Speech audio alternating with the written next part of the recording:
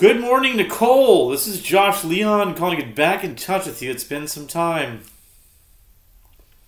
I'm simply calling to find out the things that are coming along from the realm of culinary spices, herbs, and seasonings. But no doubt, these to your company's current time.